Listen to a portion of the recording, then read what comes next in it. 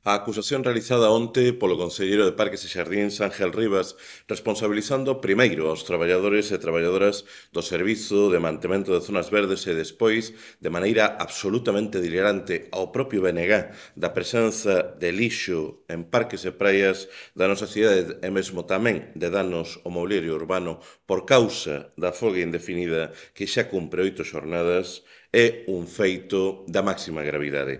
As declaracións do señor Rivas son o retrato dun goberno tan inútil como fora da realidade. En primeiro lugar, pola súa total falsidade. Unha falsidade que só se pode inscribir na estrategia estúpida que segue o goberno municipal de Abel Caballero de faltarlle reiteradamente o respeito á intelixencia das viguesas e dos vigueses pretendendo facer culpável o BNG de todos os problemas que crea a súa propia incapacidade na xestión. Se algo fixo o BNG, a diferenza do señor Rivas, foi escoitar. Escoitar a representación sindical das traballadoras e os traballadores, unha representación da que a propósito fan parte sindicatos que teñen a exsecretarios e exsecretarias comarcais como membros do mesmo goberno do que fai parte Ángel Rivas. Se algo fixo o BNG foi demandar desde o inicio mesmo desta folga que o goberno municipal actuase para axilizar unha saída para mediar exixindo a UTE concesionaria que se sente a negociar xa e atenda as xustas reivindicacións do persoal.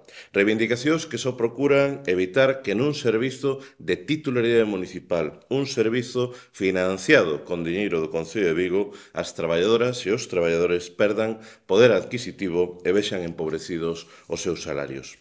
En segundo lugar, volvemos comprobar máis unha vez como cada vez que o goberno municipal ten que escoller entre o interese público e os dereitos das e dos traballadores de servizos municipais ou entre os intereses das grandes empresas concesionarias, sempre, absolutamente sempre, se coloca do lado das empresas. Sucedeu en Vitrasa, sucedeu no Servizo de Limpeza dos Colexios Públicos, sucedeu na Xer e sucede en todos e cada un dos conflitos laborais en servizos do Concello que se foron sucedendo nos últimos anos. Para ser un goberno que se di progresista, a súa xestión é un calco moi logrado do que fai o Partido Popular ali onde goberna.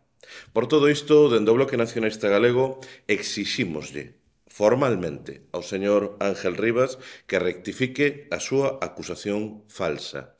Pero sobre todo o que lle reclamamos é que exerza as súas competencias como concelleiro. O que lle pedimos ao señor Rivas é que faga un oco na súa apretada xenda institucional de misas e de procesións para as que sempre está disposto con verdadeiro entusiasmo nas que quero supoñer que lle lembrarán que mentir é pecado e dedique apenas uns minutos do seu tempo a escoitar ao persoal e a mediar para lograr unha solución xusta á folga no servizo de mantemento de zonas verdes. Se non se ve capaz de facelo, o que ten que facer é dimitir.